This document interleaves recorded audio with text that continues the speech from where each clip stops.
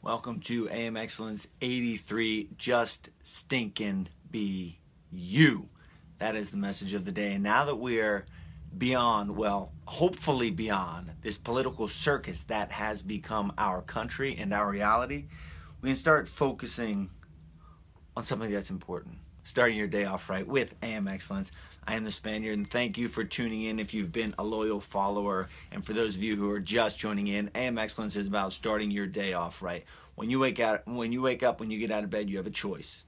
You can operate with a positive mindset.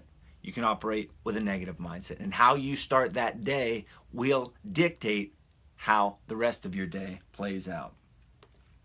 Now, the book we are reading right now is called Daring Greatly by Brene Brown. And what I've been touching on thus far has had to do with being the man in the arena, with with experiencing shame, shame resilience. And we're talking about the title of this video today is called Just Stinking Be You. When I was a teacher, I'm going to tell you guys a story of when I was a teacher. When I was a teacher, the thing that pained me most what I'm doing right now is I'm sharing it on sharing this video on my personal page because I'm trying to gain as many viewers as I can on my Spaniard page. So if you're out there in listener land, sharing this video is extremely helpful as I transition to my Spaniard page from my personal page, trying to get more interaction and more views. So when I was a teacher, one of the things that pained me the most was when I would walk down the halls, and I was teaching middle school and high school. So I would walk down the halls, and I would see these kids who didn't have the self confidence to look me or anyone in the eyes. They would walk down the hall like this, dejected, never never making eye contact. If they did make eye contact, it would be a very faint, kind of like very unsure, very uncertain, um, you know, just like kind of bashful high. And I just wanted to grab those kids. I wanted to shake those kids and say, it is okay. Just stinking be you. So the title of today's video is called Just Stinking Be You. The good, the bad, the indifferent. And today we're going to talk about shame, guilt, shame resilience. You know, what the heck is this, this word resilience? And this idea of whenever author Brene Brown talks about living a wholehearted life, she talks about embracing the uncertainty, embracing the risk, embracing the the non-script of our everyday lives. And there's several awesome talking points. We're going to talk about the power of community, the power of empathy, etc.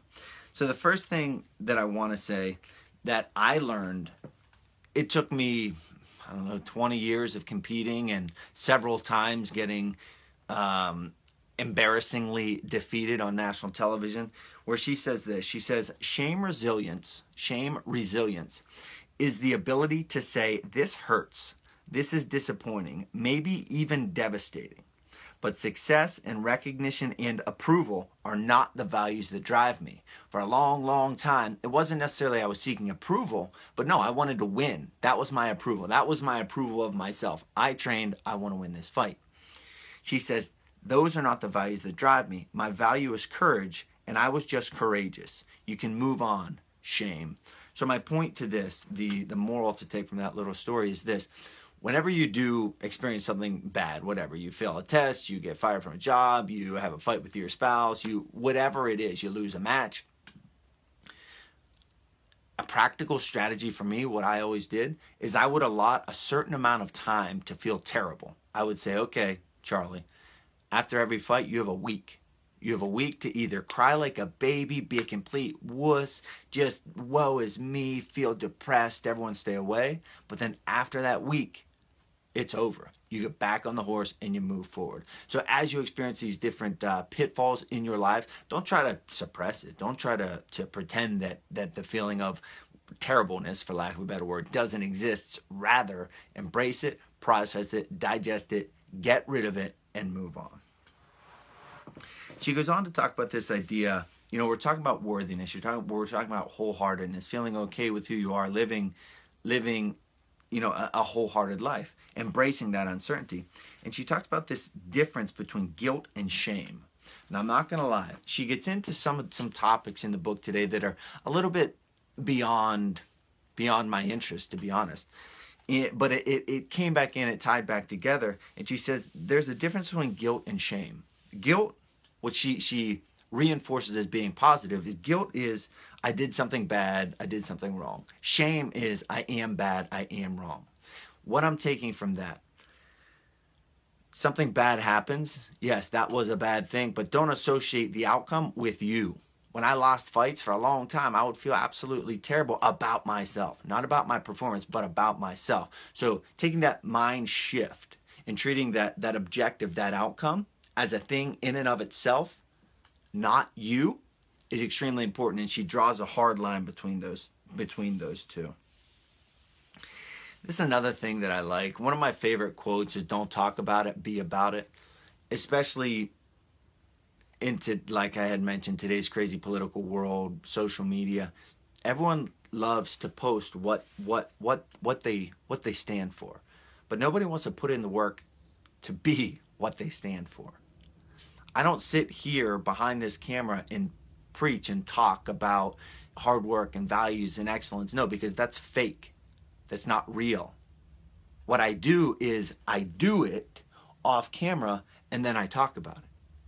Author Brene Brown is doing that same thing. She talks about this idea of living a wholehearted life, of being all in, of embracing that uncertainty. And she makes a really neat distinction here, which I would challenge every single one of you who's out watching out there. I would challenge you to embrace this as well.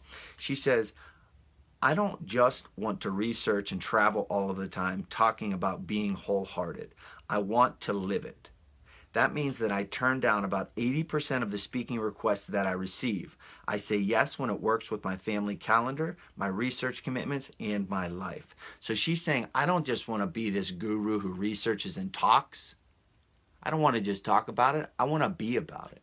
So, whatever it is that you're saying you're about, I'm challenging you to be about it. Live the life, walk the walk, and then tell people about it if you choose to. Don't sit there and preach and talk and tell me a message when you're not living it, when you're not embodying it. Is it frustrating for all of us to see these people on social media? Heck yeah. Social media and this culture has taught us that we're all winners, we're all great, we're all special. Guess what? We're not all winners, we're not all great, we're not all special. We might be unique, but we've got to earn that voice. You've got to earn that right. Just like Urban Meyer said in the last book I read, Above the Line, you've got to develop trust with people. Who are you? What do you stand for? What have you done? Do you really care about me? Or are you just talking? Are you just a talking head? So I love the fact that the author really highlights that point of being about it, not just talking about it. She also mentions this has anyone out there ever accidentally sent an email or sent an email to the wrong person or hit reply instead of forward? It's a dangerous, slippery slope. And the biggest catch all to that is by just not doing it, just not responding, just not saying those words that you know would get you in trouble if the other person heard you. And I'm not, again, I'm not sitting here saying I'm perfect, but think of that. She she tells a story where she she teaches this this curriculum, this idea of being wholehearted. But at the same time, she's saying, I'm not perfect because one time I got a really nasty email. I meant to forward it to my husband, also saying nasty things about this person who sent me the email, and I accidentally replied to it. And she said her heart sank. So before you react, Urban Meyer also says this idea of a productive pause. Just pause. Think about what you're doing let it ride, let it sit, and then if you want to respond, respond.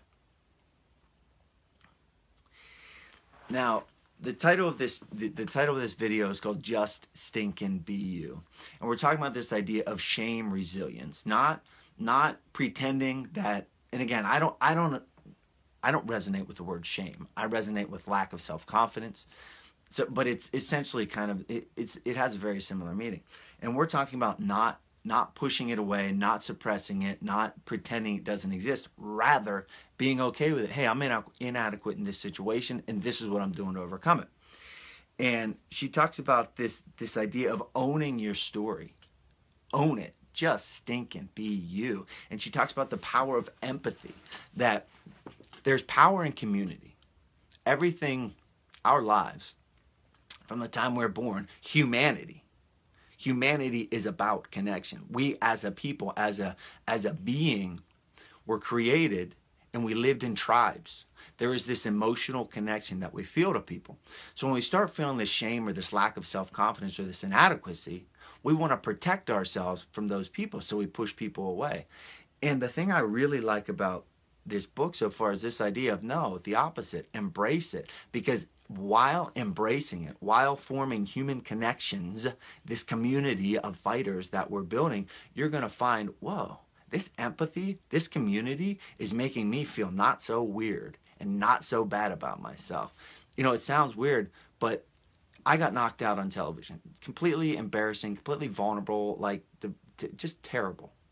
But then when I talk with other guys who've gotten knocked out on television or who, who have lost embarrassingly on television, it's like there's comfort and there's unity in in in that that state of vulnerability. So I encourage you reach out, connect with other people who are in your situation and they're out there. Trust me, in social media they're out there. But the the the moral, you know, the moral of this video is own your story. Be okay with it. Connect with other people who are in those situations and you'll find comfort, you'll find empathy and start to feel better about yourself. There's a sorry, I lost my train of thought. But it's talking about empathy, shame, community, and kind of getting it all out there. And I'll try to, I'll start to wrap it up here. She was also went on to talk about social media and how when she talks, she just gets lambasted for for this and that and her weight. People are attacking her weight. Understand that it happens to everybody. And this is again the community, the empathy that you're not the only one. You're not the only one undergoing this. It happens to us all. She says, and this is a, a neat little thing to all those people about out there. she said, I also stopped reading anonymous comments.